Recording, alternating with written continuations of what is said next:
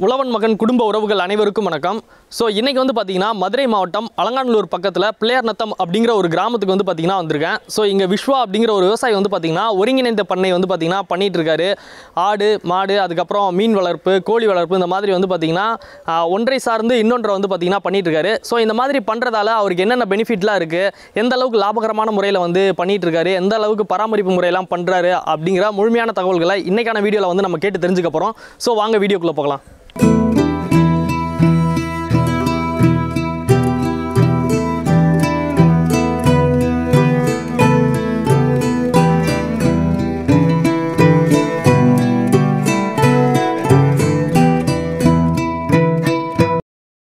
வணக்கம் ப்ரோ வணக்கம் ப்ரோ உங்களோட பேர்? என் பேர் விஸ்வநாதன். விஸ்வநாதன். இப்போ நீங்கள் என்ன படிச்சிருக்கீங்க? நம்மளோட பண்ணை எங்கே அமைஞ்சிருக்கு? நான் வந்து பிஎஸ்சி மேக்ஸ் படிச்சிருக்கேன் நம்ம ஊர் வந்து பார்த்தீங்கன்னா மதுரை மாவட்டத்தில் பிள்ளையானத்தன்ற கிராமத்தில் அமைஞ்சிருக்கு. சரிங்க ப்ரோ இப்போ நம்ம பண்ணைகளில் வந்து பார்த்தீங்கன்னா நீங்கள் வந்து என்னென்னலாம் வச்சுருக்கீங்க? இங்கே வந்து பார்த்தீங்கன்னா ஆடு மாடு கோழி மீன் பண்ணையும் வச்சுருக்கேன். சரிங்க ப்ரோ இப்போ வந்து பிஎஸ்சி மேத்தமெட்டிக்ஸ் படிச்சிருக்கேன் அப்படின்னு சொன்னீங்க. அதுலேயே வந்து பார்த்தீங்கன்னா வேலைக்கு போகிறதுக்கு நிறைய துறைகள் வந்து பார்த்தீங்கன்னா இருக்குது நீங்கள் பிஎஸ்சி மேத்தமெட்டிக்ஸ் படிச்சுட்டு விவசாயத்தை தேர்ந்தெடுத்ததுக்கான காரணம் என்ன அப்படின்னு சொல்ல முடியுமா? நான் வந்து பிஎஸ்சி மேக்ஸ் படிச்சதுனால எனக்கு வந்து விவசாய குடும்பத்துலேருந்து வந்தனால விவசாயத்தில் அதிக ஆர்வம் இருக்குது இதை பண்ணுறதுக்கு வந்து எனக்கு வந்து ஒரு என்ஜாய்மெண்ட்டுன்னு சொல்லலாம். ஒரு எனக்கு சந்தோஷம். இது சந்தோஷம் அதிக ஆர்வம் சொல்லலாம். பேராசைன்னு கூட சொல்லலாம். ஏன்னா சின்ன வயசுலேருந்து இது இது வைக்கணும்னு எனக்கு ஒரு ஆசை. அது பாதி கொண்டு வந்துட்டேன். இன்னும் கொஞ்சம் பாதி இருக்குது கொஞ்சம் கொஞ்சமாக கொண்டு வரதுக்கு ட்ரை பண்ணிக்கிருக்கேன். இது விவசாயத்தில் முழுசாக உள்ளே இறங்க போகிறேன் அவ்வளோதான் சரிங்க ப்ரோ இப்போ என்னோட நண்பர் தான் வந்து பார்த்தீங்கன்னா அவங்கள வந்து சஜஸ்ட் பண்ணார். இந்த மாதிரி என்னோட நண்பர் வந்து பார்த்தீங்கன்னா ஒருங்கிணைந்த பண்ணையாக பண்ணிட்டு இருக்காரு இந்த மாதிரி மாடு பண்ணுறாருனா இப்போ மாட்டோட எருவில் இருந்து மீன் பண்ணை வந்து பார்த்தீங்கன்னா வச்சுருக்காரு.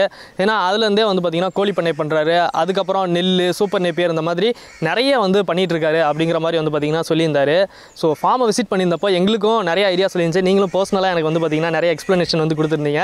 ஸோ நானாக கிட்டே கேள்வி கேட்டு தெரிஞ்சுக்கிறத விட ஸோ நீங்களே உங்களோட அனுபவத்தை வந்து பார்த்தீங்கன்னா நம்மளோட வியூவர்ஸுக்கு வந்து தெரியப்படுத்தி தெரியப்படுத்திடுங்க சரிங்க ப்ரோ இப்போ உள்ள பண்ணைக்குள்ள போகலாமா ஓகே ப்ரோ வாங்க. சரிங்க ப்ரோ ஃபஸ்ட்டு வந்து பார்த்தீங்கன்னா நீங்கள் வந்து நெல் பண்ணிட்டு இருக்கேன் அப்படின்னு சொன்னீங்க. நெல்லில் என்னென்ன ரகம்லாம் ப்ரோ பண்ணிட்டு இங்கே வந்து அச்சயா எல்எல்ஆர் உருட்டு. இந்த ரகம் பண்ணியிருக்கேன் ப்ரோ சரிங்க ப்ரோ இப்போ நெல் வந்து எத்தனை ஏக்கர் வந்து பயிரிட்டு இருக்கீங்க அப்படின்னு சொல்ல நான் வந்து சொந்தமாக வந்து ஆறு ஏக்கர் என்னது இருக்குது ஆறு ஏக்கரில் வந்து அச்சயா அதாவது சாப்பாட்டுக்கான அரிசி மட்டும் நான் வந்து விளைய வச்சுக்கிருக்கேன். அது போக வந்து ஒத்திக்கு வாங்கி நட்டதில் வந்து ஒரு இருபத்தி நாலு ஏக்கர் நட்டிருக்கேன். அது ஃபுல்லாக உருட்டு எல்எல்ஆர் ஃபுல்லாக நட்டுருக்கேன். அது சாப்பாட்டுக்கு வர உருட்டு அரிசி வந்து இட்லி அரிசி ஃபுல்லாக எத்தனை வருஷமா இந்த நெல்லை வந்து பார்த்தீங்கன்னா பண்ணிட்டு இருக்கீங்க ஏன்னா இப்படியே வந்து பார்த்தீங்கன்னா அப்படியே கண்ணு கட்டின தூரமே வந்து பார்த்தீங்கன்னா பச்சை பசையில இருந்து பார்க்குறதுக்கே ரொம்ப சூப்பராக இருக்குது ஃபோட்டோகிராஃபி பண்ணுறதுக்கும் சரி வீடியோகிராஃபி பண்ணுறதுக்கும் சரி சூப்பராக இருக்கும். ஸோ எப்போ இருந்து எத்தனை வருஷமா அந்த நெல்லை வந்து பண்ணிட்டு இருக்கீங்க இது வந்து தாத்தா காலத்துலேருந்து பண்ணிக்கிட்டு வரோம். இது நானும் தொடர்ச்சியாக நானும் பண்ணிக்கிட்டு இருக்கேன். இது போக அந்த வைக்கோல் எல்லாமே மாட்டுக்கு யூஸ் ஆகுது. நெல் வந்து எடுத்து போக வீட்டுக்கு யூசேஜுக்கு தான் அதிகமாக வரும். அது போக கழிவான வைக்கல் ஃபுல்லாக மாட்டுக்கு. மாட்டுக்கு யூசேஜ் அதாவது தீவனமாக யூஸ் பண்ணிக்கிறீங்க வர தீவனமாக. அதாவது இந்த நெல்லிலேருந்து வர்ற நெல்லை வந்து வீட்டுக்கும் யூஸ் பண்ணிட்டு இருக்கீங்க அதே இது இந்த வைக்கலை வந்து பார்த்தீங்கன்னா ஸோ மாட்டுக்கும் வந்து தீவனமாக வந்து யூஸ் பண்ணிட்டு இருக்கீங்க ஆ, சரிங்க ப்ரோ இப்போ நெல் வந்து எப்படி ப்ரோ நீங்கள் இயற்கை முறையில் தான் பண்ணிட்டு இருக்கீங்களா ஆமாம் ப்ரோ இயற்கை முறை தான் அதாவது ஜீவாமிர்தம் ஆ, பஞ்சகாவியம். அது போக பூச்சி வரட்டி அதாவது பூச்சி கொள்றதுக்கு பூச்சி வரட்டி மட்டுமே யூஸ் பண்ணுவோம். வேறு எதுவும் யூஸ் பண்ணுறதில்ல ஆ, சரிங்க ப்ரோ இப்போ மாட்டு வந்து பார்த்தீங்கன்னா நம்ம வச்சுருக்கோம்ல ப்ரோ இப்போ ஸோ மாட்டுலேருந்து வர்ற எருவுகளை வந்து நம்ம இதுக்கு நிலத்துக்கு வந்து யூஸ் பண்ணுறது உண்டா? யூஸ் பண்ணுறது உண்டு ப்ரோ அது வந்து மக்கிய அதாவது ஒரு ஆறு மாதம் மக்கிய சாணம் மட்டும்தான் யூஸ் பண்ண முடியும். அதுக்கு குறைஞ்சி யூஸ் பண்ணோம்னா அது வந்து வெப்பத்தன்மை அதிகமாக இருக்கும். வாசி நெற்பயிர்கள் ஃபுல்லாக சாக ஆரம்பிச்சிடும் ஆறு மாதம் மக்க வச்சது மட்டுமே யூஸ் பண்ணுற மாதிரி இருக்கும். ஸோ அதாவது எருவை வந்து ஆறு மாதம் மக்க வச்சு ஸோ அதை வந்து நெல்லுக்கு வந்து இயற்கை முறையில் வந்து பார்த்தீங்கன்னா பயன்படுத்திட்டு இருக்கீங்க. ஸோ ஒரு ஸ்மால் கொஸ்டின் ப்ரோ இப்போ நீங்கள் வந்து பார்த்தீங்கன்னா வயலில் நண்டு அதிகமாக கிடைக்கும் அப்படின்னு சொல்லுவாங்கல்ல நீங்கள் வயல் நண்டெல்லாம் பிடிச்சி டேஸ்ட் பண்ணிருக்கீங்களா? ஆ பிடிச்சி சாப்பிட்ருக்கேன் ப்ரோ சளிக்காண்டி அதிகமாக பிடிப்பேன். நானே இறங்கி பிடிச்சிருக்கேன். நான் அதிகமாக பிடிச்சிருக்கேன். சரிங்க ப்ரோ ஸோ நெல் வந்து பார்த்தீங்கன்னா நீங்கள் வந்து இப்போ வந்து சொந்த தேவைக்காகவும் பயன்படுத்திருக்கீங்க அதே நேரத்தில் சேலுக்கும் வந்து மிச்சம் இருக்கிறத வந்து கொடுக்குறீங்க. அகைன் வந்து பார்த்தீங்கன்னா வைக்கலை வந்து மாடுகளுக்கும் வந்து பார்த்தீங்கன்னா கொடுத்துட்ருக்கீங்க. சரிங்க ப்ரோ ஓகே ப்ரோ இப்போ வந்து பார்த்தீங்கன்னா ஃபஸ்ட்டு வந்து நெல் வந்து எப்படி பண்ணிட்டு இருக்கீங்க அப்படிங்கிறத பற்றி வந்து பார்த்தீங்கன்னா சொல்லியிருக்கீங்க.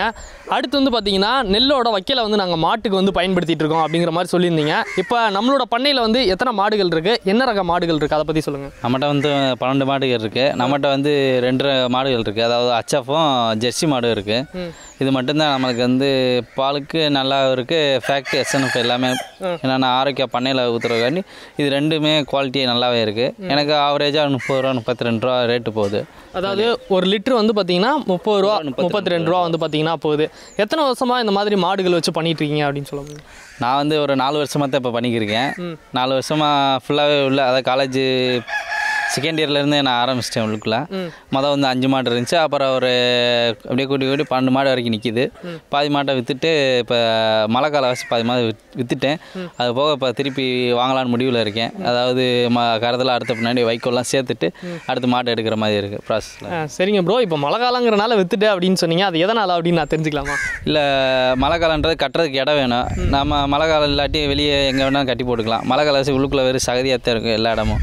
அதனால் கொட்டத்துக்கு தகுந்த மாதிரி மாடு மட்டும் இருக்கிற மாதிரி வச்சுருக்கேன். அவ்வளோதான் சரிங்க ப்ரோ இப்போ வந்து பார்த்தீங்கன்னா பன்னெண்டு மாடுகளை அன்றாட எப்படி பராமரிக்கிறீங்க? இதுக்கு நோய் மேலாண்மை அதுக்கப்புறம் தீவனம் இதெல்லாம் எந்த மாதிரி கொடுக்குறீங்க? அதை பற்றி சொல்லுங்கள் நான் வந்து இங்கே வந்து பார்த்தீங்கன்னா நான் வந்து ஃபுல் அண்ட் ஃபுல் சென்டரில் தான் இருப்பேன் காலையில். அண்ணனும் பெரியப்பாவும் அப்பா மூணு பேர் சேர்ந்து எல்லாமே மாடுகளும் காலைல வந்துச்சோன்னு நாலு மணிக்கே சாணியெல்லாம் அள்ளி போட்டு மாட்டை வந்து வெ வெளியே கட்டிடுவாங்க. வெளியே கட்டும் போது சாணியில் படுக்க தேவையில்ல. அது வெளியே அதை நீட்டாக படுத்துகிறோம் படுத்தோடனே காலைல வைக்கோல் அள்ளி போட்டுருவாங்க வைக்கோல். அது தீவனம் முதல் எடுத்தோடனே வைக்கோல் தான் ஆரம்பிக்கும். அது முடிச்சோடனே தண்ணி வச்சுருவாங்க ஒரு அஞ்சரை நாலு ஆறு மணிக்குள்ளே தண்ணி வச்சு முடிச்சுட்டு ஆறரை கறவை எப்பயும் போல் ஆரம்பிச்சிடும் அதே மாதிரி சாயங்காலம். சாயங்காலம் ஒரு நேரம் மட்டும்தான் நான் பச்சை புல் தருவேன். ஏன்டா புல் வந்து இப்போதைக்கு இல்லாதனால ஒரு டைம் மட்டும் கொடுத்துக்கிருக்கேன். இல்லாட்டிட்டு ரெண்டு நேரம் கொடுக்க ஆரம்பிப்பேன். மழை கால வாசி புல் வந்து வளர்ச்சி வந்து தண்ணி தேங்கி நிற்கிற வாசி கொஞ்சம் கம்மியாகவே இருக்கும் புல் வளர்ச்சி. அதனால் ஒரு நேரம் மட்டும் போட்டுக்கிருக்க மாதிரி இருக்குது நோய் பார்த்திங்கன்னா நான் வந்து ஆரோக்கியாலேருந்து எனக்கு நாட்டு வைத்தியம் நாட்டு மருந்துகளை யூஸ் பண்ணுறத வச்சு அதிகமாக சொல்லி கொடுத்துருக்காங்க. அந்த ப்ராசஸில் நாட்டு மருத்துவத்தை பண்ணிக்கிருக்கேன் மாட்டுக்கு. சரிங்க ப்ரோ இப்போ பன்னெண்டு மாடுகள் வச்சுருக்கீங்கல்ல நமக்கு வந்து தோராயமாக செலவுகள் இதெல்லாம் போக எவ்வளோ லாபம் கிடைக்கும்? எனக்கு பன்னெண்டு மாதம் தொள்ளாயிரமாக ஒரு மாதத்துக்கு இருபது ரூபா ஒரு இருபத்தஞ்சி ரூபா அவ்வளோதான் வரும். ஸோ மாடுகளில் மட்டுமே நம்ம செலவு போக வந்து உங்களுக்கு வந்து கிடைக்கும் அப்படின்னு சொல்கிறீங்க சரிங்க ப்ரோ இப்போ நெல் நெல்லை சார்ந்து வந்து பார்த்தீங்கன்னா நீங்கள் வந்து மாடுகள் வந்து பார்த்தீங்கன்னா வச்சு பண்ணிட்டு இருக்கீங்க. இப்போது மாட்டோட எருவுலேருந்து வந்து பார்த்தீங்கன்னா நீங்கள் வந்து மீன் பண்ணை வந்து வச்சுருக்கிறதா வந்து பார்த்தீங்கன்னா சொன்னாங்க. இந்த கான்செப்ட் வந்து உங்களுக்கு எப்படி தோணுச்சு? இது வந்து நான் சும்மா கவர்மெண்ட்லேருந்து வெட்டி கொடுக்குறதா சொன்னாங்க. அந்த வெட்டி கொடுக்க ஸ்டேஜில் நான் வந்து மழை அந்த வெட்டி கொடுத்த ஸ்டேஜில் வந்து மழை அதிகமாக பேஞ்சிச்சு. அப்போயே வந்து குழி பாதி ரெம்பிருச்சு. சரி நான் போர் இருக்குல்ல ஃபுல்லாக ரெப்பிட்டு மீன் குஞ்சு வாங்கிடணும் நான் அந்த ஸ்டேஜில் வந்து கம்மாய்க்கு வந்து தண்ணி வந்துச்சு. அந்த தண்ணி வச்சு அட்ஜஸ்ட் பண்ணி மீன் குஞ்சு வாங்கி விட்டுட்டேன். அப்போ வந்து ஃபஸ்ட்டு ஸ்டேஜ் வச்சு ஒரு முப்பத்தஞ்சு கிலோ அதை எடுத்தேன். அது உள்ளுக்குள்ளே பத்தலை. பதிவு சண்டை ஓட்டு போயிட்டாங்க. அதுக்கப்புறம் இந்த செகண்ட் டைம் வந்து கொஞ்சம் அதாவது கொஞ்சம் அனுபவம் அதிகமானாலும் இப்போ கொஞ்சம் ஒரு முந்நூறு கிலோ நூற்றம்பது கிலோ இப்போ வந்து உள்ளே விட்டுருக்கேன். அதாவது பிடிக்க ஸ்டேஜ் இன்னும் ஒரு ரெண்டு மாதத்தில் அறுவடை பண்ணுற மாதிரி இருக்கும் மீன் ஃபுல்லாக இதுக்கு வந்து தீவனம்ன்று பார்த்தீங்கன்னா நான் மாட்டு சாணம் வந்து மாட்டு சாணத்தை வந்து அந்த பயோ பா பாக்டீரியா ஃபுல்லாக அதிகமாக வருவாங்க புழுக்கள் ஃபுல்லாக அதிகமாக வருவாது அது தீவனம் வந்து அதிகமாக இருக்கும் புரத சத்துக்கள் அதிகமாக மீன் கிடைக்கும். அது போக அரிசி தவிடு இது ஃபுல்லாக போடுவேன். அதாவது ச- அரிசி வந்து வேக வச்சு போடுவேன். ஊற வச்சு போடலாம். மீனுக்கு வந்து அதிக தீவனம் கிடைக்கும். சரிங்க ப்ரோ இப்போ எத்தனை குட்டைகள் வந்து உங்ககிட்ட இருக்குது இப்போ மீன் வந்து பார்த்தீங்கன்னா நிறைய பேர் வந்து பார்த்தீங்கன்னா பயோஃப்ளாக் பண்ணிட்டு இருக்காங்க. தொட்டிக்குள்ள வச்சு பிளாஸ்டிக் தொட்டிக்குள்ள வச்சு மீன் பண்ணை வந்து பார்த்தீங்கன்னா பண்ணிட்டு இருக்காங்க. நீங்கள் வந்து குட்டைகள் வெட்டி வந்து பார்த்தீங்கன்னா பண்ணிட்டு இருக்கீங்க. இதுக்கு வந்து தண்ணீர் தேவை வந்து அதிகமாக தேவைப்படும். ஸோ அதுக்கான காரணத்தையும் வந்து பார்த்தீங்கன்னா எப்படி தண்ணீர் வந்தது அப்படின்னு சொல்லிட்டீங்க.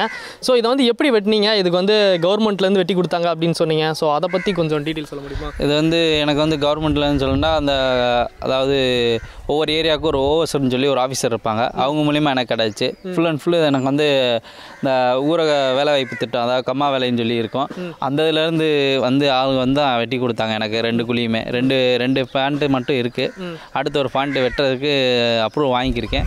அதை வாங்கிட்டேன்னா இன்னொரு பாயிண்ட் வெட்டிடுவேன் இதில் வந்து மீனுக்கு வந்து பார்த்தீங்கன்னா அறுவடைகளை வந்து ஆறு மாதம் தான் ஆறு மாதத்தில் எடுத்தாவே நம்மளுக்கு நல்ல ஈல்டு கிடைக்கும். அதுக்கு பொறுத்த அளவுக்கு நம்ம தீனி கொடுத்தோம்னாவே நல்ல வளர்ச்சி அதிகமாக இருக்கும். பாண்ட் பொறுத்த வரைக்கும் இது வந்து நம்ம வேறு எந்த இதுவும் இல்லை. தீவன மேலாண்மை மட்டும். நோய் வந்து அதிகமாக வராது. அதுக்கு வந்து ஈயம் கரைசலை ஊற்றிட்டோம்னா அந்த தண்ணி தெளிவாக ஆக்சிஜன் அதிகமாக கிடைக்கும். பஞ்சகாவி ஊற்றும் போது அதுக்கு வந்து பயோபாக்டீரியா வந்து அதிகமாக உருவாகிக்கிட்டே இருக்கும். அதனால் தீவனம் வந்து அதுவே உள்ள ஆட்டோமேட்டிக்காக உருவாகு மீனுக்கு அது வந்து அதாக வந்துடும் சரிங்க ப்ரோ இப்போ வந்து பார்த்தீங்கன்னா ஒவ்வொரு குட்டையும் வந்து எந்த ஸ்கொயர் ஃபீட்டில் எத்தனை அடியில் வந்து பார்த்தீங்கன்னா இருக்குது எத்தனை சென்டை வந்து கவர் பண்ணியிருக்கு? எவ்வளோ ஆழம்? அதை பற்றி சொல்லுங்கள் கொஞ்சம். இது வந்து மொத்தம் வந்து மொத்தம் வந்து நாற்பது நாற்பது சென்ட் நாற்பது சென்ட்ல இந்த ரெண்டு பாண்ட் வெட்டியிருக்கேன். ரெண்டு பாண்டுமே அஞ்சஞ்சு அடி. ஆழம் வந்து அஞ்சஞ்சு அடி. அது போக வந்து நீளம் வந்து இருபத்தி ரெண்டு அடி வரும். அகலம் வந்து பதினாறு அடி வரும். இந்த மேனேஜ் பண்ணி வெட்டிட்டேன். ரெண்டு பாண்ட் மட்டும் வெட்டியிருக்கேன். அவ்வளோதான் இப்போ ஒவ்வொரு குட்டையிலையும் வந்து பார்த்தீங்கன்னா எவ்வளோ மீன் குஞ்சுகள் வந்து இப்போ விட்டுட்டு இருக்கீங்க? இப்போ வந்து நான் வந்து தோராயமாக எழுநூறு குஞ்சு தான் விட்றேன் ஏன்டா எழுநூறு. எழுநூறு எழுநூறு குஞ்சு மட்டும் தான் விட்டுருக்கேன். அடுத்த பாண்ட் வந்து இதுலேருந்து வளர்ச்சி அடைஞ்சது மட்டும் இதில் கொஞ்சம் சாக மொத்தமாக ஒரு பாண்டில் விட்டுருக்கேன். ஆயிரம் குஞ்சு ஒரு பிளான்ட் இருக்குது இன்னும் குஞ்சு வந்து வாங்குறதுக்கு இந்த மாதம் எண்டிங்கில் போய் வாங்கிட்டு வரணும். வாங்கிட்டு வந்து ஒரு ஐநூறு குஞ்சு திருப்பி போடணும். சரிங்க ப்ரோ இப்போ எழுநூறு குஞ்சு நீங்கள் விட்டுருக்கீங்களா தோராயமாக நீங்கள் வந்து எவ்வளோ வந்து அறுவடை எடுப்பீங்க? எவ்வளோ அதை பற்றி சொல்லுங்கள் ஏழ்நூறு குஞ்சுக்கு வந்து நம்மளுக்கு வந்து உள்ளுக்குள்ளே அந்த ஒன்று அடியாகிறது இருக்குது சாகிறது இருக்குது அது போக நம்மளுக்கு வந்து ஒரு நானூறு கிலோத்தில் நானூறு கிலோவில் இருந்து கிடைக்கும். ஸோ நானூறு கிலோ வந்து பார்த்தீங்கன்னா கிடைக்கும். இப்போ மீன் வந்து பார்த்தீங்கன்னா நீங்கள் இந்த மாதிரி பண்ணிட்டு இருக்கீங்களா ப்ரோ குட்டைகளில் வந்து. இதில் வந்து பார்த்தீங்கன்னா இந்த நீர் பாம்பெல்லாம் இறங்கி மீனை சாப்பிடும் அப்படின்னு சொல்லுவாங்க. இதுலேயும் நிறைய நோய் தாக்குதல்கள்லாம் மீனுக்கு வர்றதுக்கு வந்து பார்த்தீங்கன்னா வாய்ப்பு இருக்குது ஸோ அதை பற்றி ஒரு இது வந்து பார்த்தீங்கன்னா இங்கே வந்து நீர் பாம்பு வந்து பாம்புகளும் அதிகம் தான். அதனால் மீனை பிடிச்சி தான் ஆகும். நம்ம வந்து பாதுகாப்பாக வைக்கிறதுக்காண்டி அந்த பாம்பு கட்டு வலைன்னு ஒன்று சொல்லுவாங்க அதை வந்து சுற்றி கட்டி விட்டோம்னா பாம்பு எப்படியாச்சும் சிக்கிரும் உள்ள ஏண்டா தண்ணி சில நேரத்தில் மேலே ஏற பார்க்கும். அந்த டயத்தில் வந்து அஹ், பாம்பு வலை இருந்துச்சுன்னா உள்ளுக்குள்ளே சிக்கிக்கிறோம் பாம்பு அடித்து வெளியே இது பண்ணிடலாம். இல்லாட்டி பிடிச்சி விட்றாங்கன்னா விட்டுறலாம் சரிங்க ப்ரோ மீனுக்கு எந்த ஒரு நோய் வராதா? நீங்கள் எந்த ஒரு மெடிசன் கொடுக்குறது இல்லையா? அதை வரைக்கும் எனக்கு வந்ததில்லை. அது இஎம் கரைசல் வந்து அதிகமாக யூஸ் ஆகிறது அந்த நோய் தாக்குதல் தான். ஏண்டா கெட்ட பாக்டீரியா மேக்ஸிமம் அது நீ அதாவது தண்ணி வந்து கலங்கிய தண்ணியை தெளிவாக்குறதுக்கு இஎம் கரைசல் வந்து அதிகமாக யூஸ் பண்ணுறோம் அந்த இஎம் கரைசல் வந்து சுத்தமாக தண்ணியே தெளிவாக்கிறோம். அதே மாதிரி அந்த கெட்ட பாக்டீரியாவை கொஞ்சம் விலகுற மாதிரி இருக்கும். ஃபுல்லாக போயிடும் எனக்கு இது வரைக்கும் அந்த மீன் ப நோய்கள் நோய் வந்ததில்லை. சரிங்க ப்ரோ இப்போ வந்து பார்த்தீங்கன்னா நீங்கள் மீன் பண்ணை வச்சுருக்கீங்கல்ல ப்ரோ இப்போ மீன் பண்ணையிலேருந்து உங்களுக்கு செலவுகள்லாம் போக தோராயமாக அதில் உங்களுக்கு எவ்வளோ லாபம் கிடைக்கும் அப்படின்னு சொல்ல நான் வந்து மொத்தமே மீன் வந்து வாங்குறது வந்து ரெண்டு பாண்டுக்குமே மொத்தமே மூவாயிரத்தி ஐநூறு நாலாயிரரூவாக்குள்ளே தான் வாங்குவேன்.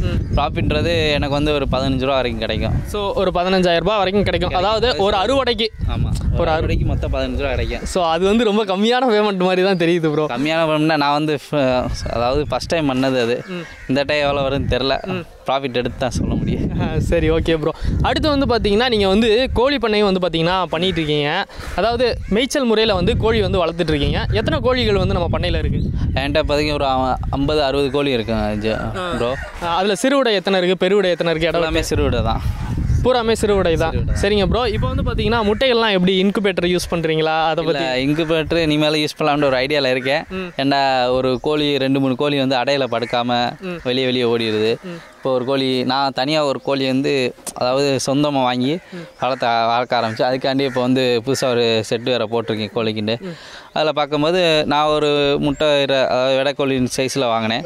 அது வந்து முட்டை இட்டு இப்போ மூணாவது ஈத்த முட்டை இட்டுக்கு இருக்கு. அஹ் நல்லா அதாவது க கறிக்கு நல்லா யூஸ் ஆகும் கோழி வந்து. அந்த கோழி நல்லா இருக்குது சிறுவிடை கோழி வந்து. சரிங்க ப்ரோ இப்போ எப்படி நீங்கள் வந்து கோழிகள் வந்து சேல் பண்ணுறீங்களா என்ன? ஏன்னா நீங்கள் வந்து பார்த்தீங்கன்னா கோழிக்கு இப்போ தனியாக எந்த செட்டும் போட்டது மாதிரி தெரியல. எல்லாத்தையுமே வந்து இப்போ பார்த்தீங்கன்னா டோட்டலாக ஃப்ரீ ரேஞ்சில் தான் வந்து பார்த்தீங்கன்னா விட்டுருக்கீங்க. எங்கே வந்து அடையும்?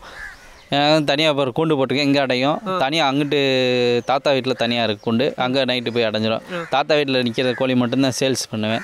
இங்கே நிற்கிற கோழி அதிகமாக சேல்ஸ் பண்ண மாட்டேன். ஏன்டா இப்போ தான் கோழி வந்து நான் தனியாக எடுத்து ஆரம்பிச்சிருக்காண்டி இந்த ஒரு கோழியை வச்சு நான் ப்ராசஸ் வந்து அதிகமாக பண்ணியிருக்கேன் அதோட சரிங்க ப்ரோ அப்போ இப்போ தான் வந்து பார்த்தீங்கன்னா நீங்கள் வந்து இந்த கோழி பண்ணையை வந்து பார்த்தீங்கன்னா பிகினராக வந்து ஸ்டார்ட் பண்ணியிருக்கீங்க இப்போ கோழி பண்ணையிலேருந்து தோராயமாக நம்ம எவ்வளோ அமௌண்ட் எடுக்கலாம்? அதை பற்றி ஒரு இது வந்து சொல்லுங்கள் எனக்கு வந்து இது வரைக்கும் நான் விற்றது இல்லை விற்றது இல்லை ஆரம்பிச்சதில்ல இதான் ரெண்டு விற்கலாம்னு இருக்கேன் இப்போ வந்து ஒரு கோழி வந்து முந்நூற்றம்பது ரூபா நானூறுரூவா வரைக்கும் விற்கலாம். ஒரு கிலோ வந்து நம்மளுக்கு வந்து முக்கால் கிலோ சைஸ் தான் அதிகமாக வரும் சிறுவடையை பொறுத்த அளவுக்கு. ஒரு கிலோன்ற வராது. அதனால் ஒரு முந்நூறுரூவா வந்து முந்நூற்றம்பது ரூபா கிடைக்கும் ஒரு கோழிக்கு. சரிங்க ப்ரோ இப்போ வந்து பார்த்தீங்கன்னா கோழிக்கு அதுக்கப்புறம் வந்து பார்த்தீங்கன்னா இந்த சூப்பர் நெபியாஸ் இந்த சீம புல் இதெல்லாம் வந்து பார்த்தீங்கன்னா இருக்கீங்க. ஸோ அதில் என்னென்ன வித்தியாசமான ரகம் ரெட் கலரில் இருக்குது பச்சை கலரில் இருக்குது ஸோ அந்த மாதிரி வித்தியாசமான ரகங்கள்லாம் வந்து பார்த்தீங்கன்னா பயிரிட்டிட்டு இருக்கீங்க. ஸோ என்னென்ன ரகம் வந்து பயிரிட்டிட்டு இருக்கீங்க? அது வந்து உங்களுக்கு மாடுகளுக்கு வந்து எந்த அளவுக்கு யூஸ்ஃபுல்லாக இருக்குது அப்படின்னு சொல்ல முடியுமா? இது வந்து மாட்டுக்கு வந்து புல் டெய்லி வந்து அறுத்து போட்டு இருக்க முடியாது. அதனாலவே நம்ம வந்து கவர்மெண்ட்லேருந்தே ஒட்டு பிரித்து எடுத்தது தான் அந்த சூப்பர் நெப்பியர் கோஃபோர் கரும்புலேருந்து பிரித்த இன்னொரு ரெட் நெப்பியர்னு சொல்லியிருக்கு. இது ஃபுல்லாமே மாட்டுக்கு வந்து அதாவது ஒரு அறுபது நாள் நாற்பது நாள் காலத்திலே வந்து அறுவடைக்கு வரும். அது வந்து சாப்பிட்றதுக்கு மாடு சாப்பிட்றதுக்கு நல்லா வந்ததாக இருக்கும். தட்டையும் கொஞ்சம் மெல்லிசாவே இருக்கும். சாப்பிட்றதுக்கு நல்லா ஹெல்த்தி ஃபுட்டாக வந்து இருக்கும்.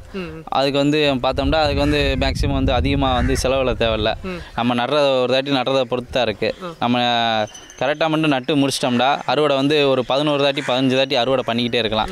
அதுக்கு வந்து யூரியா போடுவாங்க சா சில பேர். நான் வந்து யூரியா வந்து இது வரைக்கும் யூஸ் பண்ணதில்லை மீன் பண்ணையில் இருக்க தண்ணியை ஃபுல்லாக விடுவேன். வெளியே இருந்து தண்ணி வச்சோம்னா மீன் பண்ணையில் இருக்க தண்ணி அதாவது அமோனியா வந்து உள்ளே உருவாகும். அந்த அமோனியா தண்ணி வந்து உள்ளே போகும்போது நல்லா விளைச்சல் அதிகமாகும். அது போக வந்து மாட்டு சாணத்தை அப்படியே அள்ளி அள்ளி ஒவ்வொரு பார்லையும் கொட்டும் போது நம்மளுக்கு வந்து வளர்ச்சி வந்து அதிகமாக வந்துக்கிட்டே இருக்கும். ஒரு பதினோரு அறுவை பண்ணுற இடத்துல பதினஞ்சு பதினாறு அறுவை அறுவடை பண்ணலாம். புல்லை மட்டுமே. சரிங்க ப்ரோ இப்போ வந்து பார்த்தீங்கன்னா நெல் பண்ணிட்டு இருக்கீங்க நெல் வந்து உங்களோட வீட்டு தேவைக்கும் யூஸ் ஆகிட்டு இருக்கு அதே டைமிங்கில் அதுலேருந்து வைக்கல் வந்து பார்த்தீங்கன்னா உங்களுக்கு மாடுகளுக்கும் யூஸ் ஆகிட்டு இருக்கு ஸோ மாட்டிலேருந்து வர்ற பாட்களை வந்து பார்த்தீங்கன்னா ஆரோக்கியம் அந்த இதுக்கு வந்து பார்த்தீங்கன்னா ஊற்றிட்டு இருக்கீங்க இதுலேருந்து வர்ற எருவை வந்து பார்த்தீங்கன்னா நெல்லுக்கு வந்து பார்த்தீங்கன்னா உரமாக பயன்படுத்திட்டு இருக்கீங்க இதோட எருவை வந்து அகைன் மீன் பண்ணைக்கு வந்து பார்த்தீங்கன்னா உணவாக வந்து பார்த்தீங்கன்னா பயன்படுத்திட்டு இருக்கீங்க அதுலேருந்து வர்ற தண்ணியை வந்து பார்த்தீங்கன்னா ஸோ விவசாயத்துக்கு வந்து பார்த்தீங்கன்னா இயற்கை உரம். ஏன்னா அதில் அமோனியா இருக்குது அப்படின்னாலே அதுவே வந்து பார்த்தீங்கன்னா ஒரு மிகப்பெரிய இயற்கை உரம் தான் ஸோ அதுக்கு வந்து பயன்படுத்திட்டு இருக்கீங்க அப்போ. ஸோ ஒன்றை சார்ந்து ஒன்று தான் வந்து பார்த்தீங்கன்னா நீங்கள் வந்து பண்ணிட்டு இருக்கீங்க உண்மையிலே ப்ரோ இது கொஞ்சம் வித்தியாசமான கான்செப்டாக இருக்குது இது தவிர நீங்கள் வேறு என்னென்னலாம் பண்ணிட்டு இருக்கீங்க அடுத்து வந்து பயோ பிளாக் ஆரம்பிக்கலாம்னு இருந்தேன். ஏன்னா இதில் வந்து சின்ன சின்ன மீன் குஞ்சு விடும் போது ஒரு இரநூறு குஞ்சு அடியாயிருது இரநூறு குஞ்சு விட்டோன்னா ஐநூறு குஞ்சு தான் நம்மளுக்கு கிடைக்கிற மாதிரி இருக்கும்.